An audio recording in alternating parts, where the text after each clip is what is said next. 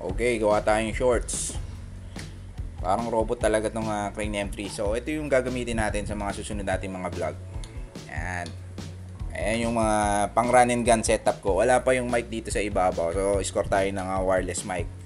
Hintayin lang natin yung DJI na wireless mic. So, pag nakita nyo to, pag pinindot ko ng tatlong beses to, harap to sa akin. So, ayan. Kala, oh. Itsura niya. Etong nakakapit na lens ngayon dito is yung ah, wide lens natin. Ayan, tingnan natin to. Ayan, ito yung wide lens. So, ayun yung pinaka pang vlog natin. Ito pa yung isang malupit dito. Tingnan nyo nga guys.